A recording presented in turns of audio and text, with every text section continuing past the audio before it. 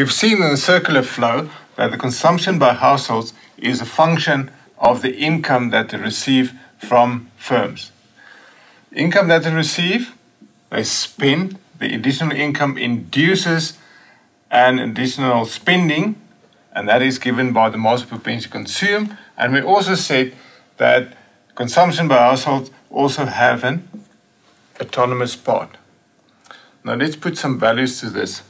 Let's assume the autonomous part equals 100 and the induced part, the mass propensity consume is comma 8, comma 8y.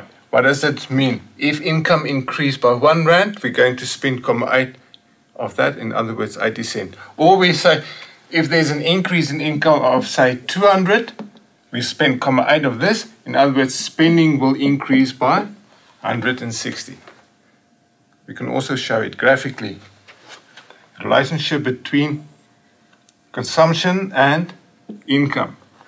The autonomous part, that is part of consumption that takes place independent, autonomous from income. Even though income is zero, certain amount of consumption will take place.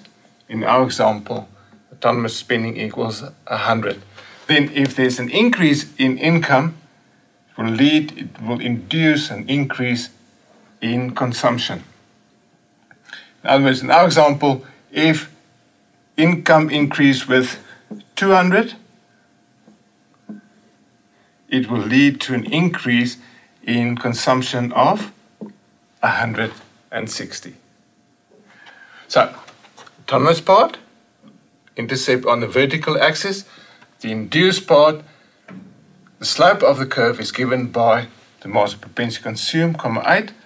If there's an increase of 200 in income, it leads to an increase in consumption from this level to this level. In other words, by 160.